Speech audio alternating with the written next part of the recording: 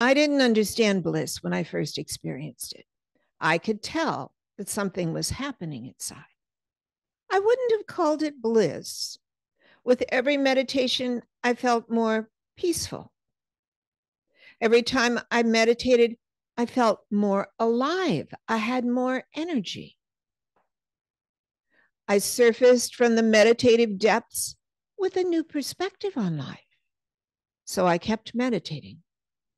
One morning, as I was sitting in the sweet afterglow of my meditation, I realized that the afterglow was a very happy feeling. I was experiencing the bliss of consciousness. Mm-hmm. Now I became more enthusiastic about meditating every day.